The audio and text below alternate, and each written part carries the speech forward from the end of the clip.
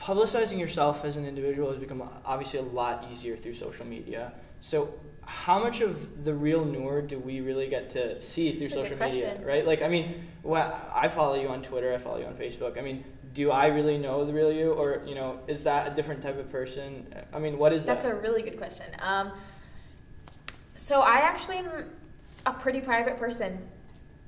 However, um, I never put off like a facade or like a fake version of myself. I'm like I'm very very myself. I just choose to like I'm different on social media than I am with my family or with my really close friends. yeah. Uh, but I think that's also like for the outlets that you might follow me on. So like on Yeah. Snapchat, you'll probably see more of like myself Yeah. rather than like on Facebook. But um, but no, I think at first, like when I first started like taking on the social media thing, I felt like I had to be some type of way or like live up to some type of standard, especially as like a Muslim woman and whatever. And then I realized like I'm not doing this for anybody else. I'm doing this for myself. I'm doing this for Allah, and so I'm going to be um, unapologetically myself. And if I'm gonna like call somebody out, I'm gonna call somebody out. If I'm gonna like, I'm not. I, I- it's like really hard for me to to mask how I'm feeling or to like put on some type of front. And so you're really getting a, the most authentic version of me, but not the entire. Not 100. percent yeah. Of course. But however, I think that if you meet me in person, then you do get that, and that's like been the biggest thing that people have said to me, and I've noticed that. And so I'm personally working on like trying to portray that more on social media because I think just social media in general is so hard to keep up with. Yeah. Like sometimes I'm just like "Eh, I don't feel like posting anything or I don't feel like saying anything, whatever, because I'm I'm like really just trying to always be in the moment. And so it's hard trying to balance both of those. But as soon as people meet me in person, they're like, "Wow, like you're way, like you're so much more cool in person." And I'm just like, "What are you trying to say?" Like, Yeah. I suck on social Yeah. I probably do suck online, but like Yeah. I'm just it's hard. It's a hard balance. But I'm never I'm never a version of I'm never a like faker version of myself. Right. So then, how would you say, how would you say your faith plays into what you do? I mean, obviously, wear the hijab, right? That's a that's an outward part of it that Yeah. everyone gets to see. But I mean, is there anything else that we don't get to see on the back end? Hundred Like, percent. you know, like what are Um, some things that you fight? I'm a super spiritual person. So like I even when my talks aren't about Islam, at the end of the day they're always about tawakkul and having trust in Allah. And I try not to like say it that way all the time. Um, because a lot of times my audience isn't Muslim, but they kind of get the hint in that like my faith is a huge part of why I'm here. Every single thing that I've ever gone through, I've never like if something bad happens to me, or I don't get like a job or I don't get an opportunity that I really, really wanted, my first instinct is to say like, then that means there was a better plan for me, or that means that there's a reason that Allah didn't give it to me. And so I've never been, and, and this whole journey has strengthened that a lot, but I've never really been one to question like why certain things have happened. Um, without like understanding that there is a reason. So I think the biggest part really is just like having tawakkul and having trust in Allah and then um, me being where I am today had a lot to do with like the prayer, like praying istikhara. Like my big, my biggest break that I had was like the night before I was praying istikhara about how I really needed a job or an internship, and then literally eight hours later I was offered it on the spot in front of 200 people. Like it was huge. Yeah. And so after that, I just start, started seeing it over and over again how much this is like really an important thing, and that like you can't just sit there and say, "Oh, we'll pray istikhara," or like, "Yeah, yeah, I have tawakkul." Like you can't just say it. Like you truly have to embody and believe it. And the second that you do, in my opinion, like things just fall into to place and they work. Um, and so that's really probably the biggest thing. Like I'm, I'm a super, super spiritual person, and um, I know that like I give com- like 110% credit to Allah for everything that I have right now. Um, and I know that it can all be taken away. I know that like the opportunities can be taken away or like the success or whatever. Um, but I also know that like I always continue continuously ask for guidance, and so whatever happens is what I'm supposed to be doing.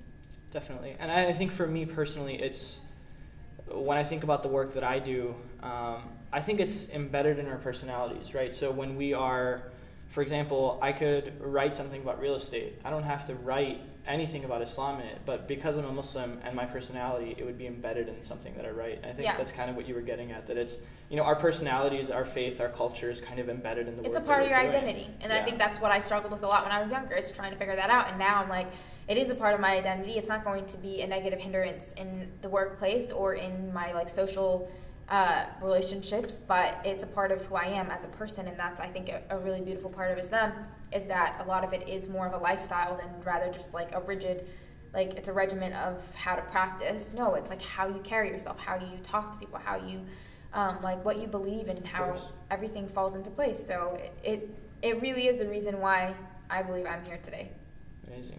So why don't you tell us about some of the things that you're working on currently? So I'm actually here in Dearborn um, working on the girl tour. Uh, I've collaborated with Listen Up Clothing, and we've created a line called the Noor Effect, which uh, is a women empowerment clothing line that uh, half the profits go towards ending sex trafficking. And the message on the clothing is essentially a statement that you wear on your back about uh, the objectification of women and how to combat it through empowering and enlightening our girls and replacing barcodes from bodies to those on the books. Very cool, and that has uh, an incredible meaning. I wanted to ask you. Um, you know, there's so many incredible causes, and you know what you're doing is one of them. Is there a specific reason that you chose sex trafficking in particular? So I've been super, super passionate about combating sex trafficking since probably like the beginning of high school. Um, I read Nicholas Kristof and Sheryl WuDunn's Half the Sky, and uh, it was a book that they did while traveling around um, Asia and Southeast Asia. They had started in China, and they found out that there was this word or term for girls who were missing, and it was something that they had never really heard of. And then they looked into it, and then they found like how much trafficking was going on. And so then they basically traveled around and found these stories of women who were trafficked and how education was really the key to kill, like to combating it. Um, so after I read about that, I had like since I've been since I was about 12, I've been working with a domestic violence shelter with my family, um, and I was just super passionate about like how we can help our women um, who are in situations of oppression and so trafficking was something that really just hit hard, and I realized that not a lot of people know it exists. Um, a lot of people don't know it exists in the United States. So it was something I did a lot of research in and wrote papers about, and then started working with organizations. And um, and now because I'm a reporter, I uh, try to, try to cover stories about it. And then um, the clothing line opportunity came about, and Listen Up Clothing's whole thing is they give 50% of their profits to charity and I had just started um, getting involved with an organization called Project Futures. So I was like, okay, well, if we do a collaboration, then that's what it's going to be about. Wow, that's incredible, especially because it's stuck with you since such a young age. Yeah.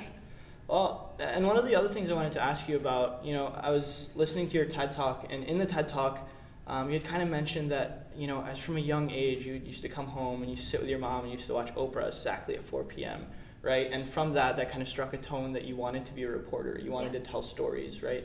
You wanted to be able to make fe- people feel comfortable. Um, how did that journey begin, right? Where you had these aspirations to do that, and how has that journey changed and adapted for kind of your purpose and what you do? So, I knew what I wanted to do from when I was about eight years old um, until today. Like, you can run into people from my elementary school and they'll be like, I remember when you used to say, like, this is what you wanted to do, and now you're doing it. I didn't even know what the term journalist was or what a reporter was. I just knew I wanted to tell stories and ask questions. Like I wasn't really good at sports. I wasn't really good at art. I wasn't really good at like whatever. Um, but I was really good at asking questions and telling stories, and that's what my teachers noticed about me and my parents. And so they threw me into like camps and uh, like summer activities with whether it was TV or writing or reading, whatever. And it was this huge passion I had. However, I grew up in a very uh, conservative town, and no one wore hijab except like my mom uh, we were the only Muslims in our school. And what town did you grow up in? La Plata, Maryland. Okay. Southern Maryland. Very cool. So I, uh, I never, ever, ever thought I'd wear the hijab. I was super against it. I was like, there's no way. I'm like, I hated it. I was like, this isn't going to ever happen, especially because I want to be on TV, and obviously you can't be on TV while you're wearing it. So, um, and then I ended up moving out of that town and kind of experienced a culture shock when I moved closer to the city, to DC. And the culture shock really struck me because I realized so many people were, it was such a diverse community and people were kind of embracing their own identity. And I was like, well, maybe I should do that too. And I kind of impulsively put it on. And then I realized, well, if I put it on, I'm still going to do what I want to do. And if Oprah was the first of many and Lisa Ling was the first of many, then I'm going to be the first of many. And so I, um, right after I put it on, I ended up getting a job at a newspaper. And this was when I was about 15, 16 years old.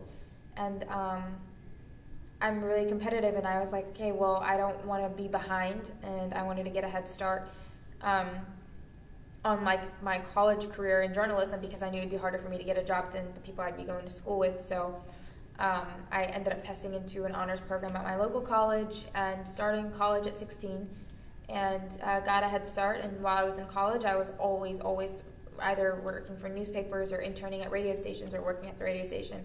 And I ended up like starting to tour as a speaker while I was in college because I was very, very vocal about what it is I wanted to do and how important it was for other people to pursue their passions.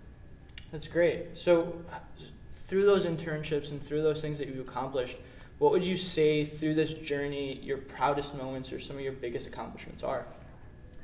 Um, I think one of my proudest, a couple really proud moments. One was uh, when I was asked to give a TED talk because that was something that was like a dream of mine, and I would watch them all the time, and yeah. so um, it was an incredible experience. And then um, I quit working as a local news reporter because I just I had bigger story ideas. I didn't really want to do water main breaks and chasing fire trucks, and um, I like took a risk and I, I quit and I decided to take on doing a documentary on my own and I did it and it was uh, like a hardcore investigative journalism piece and uh, really changed my life and it reinforced like the passion that I had for storytelling. Um, so those were two. two awesome, parts. that's very cool. So uh, one of the other things I wanted to ask you was, you know, a lot of a lot of your fan following is young Muslims, young adults um, who really look up to you. And you know, those same young Muslims are a lot of the people who are victims of Islamophobia. Um, you know, I was when I was, I think it was a couple months ago. I heard something very profound where it was, you know, a lot of people ask young people about what they want to do when they grow up, right? And the problem with that question is, is that they don't ask the kid what problem do they want to solve right? And if you ask that kid that, then it's a lot easier for them to answer that question. So, I mean, how do you think that you could maybe solve? I mean, what problem do you see that you're trying to solve, and you know, how can you help, you know, that community that maybe is suffering from that? Well, I think what I do now um, is pretty universal. Like my message is really universal in the sense that I um, am always talking about why it's so important to not only pursue your passion but stay completely true to yourself and be your most authentic self while you're doing it. So for me it was embracing my identity as an american muslim but for other people it might be something different. Um, a lot of times when i'm speaking majority of my audience isn't muslim. Um, and it really comes down to like the science of well how can i completely and utterly be myself?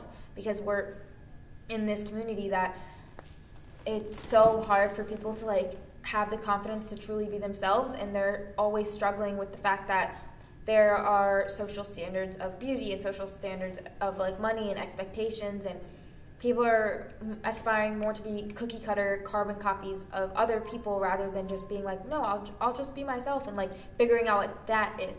And the second that i did that and i realized i'm not going to give anybody any power over any of my insecurities or or how i choose to like be was the second I realized that I'm going to finally live up to my maximum potential. And I will be like the best version of myself. And through being the best version of myself I will use my passions and my skill set to to essentially like fight for the causes that pain me the most whether that is Islamophobia whether that is sex trafficking whether that is bullying whatever it might be me essentially just choosing to to live my life that way. And it sounds like a very simple concept but we don't talk about it a lot about truly being yourself and what that actually means.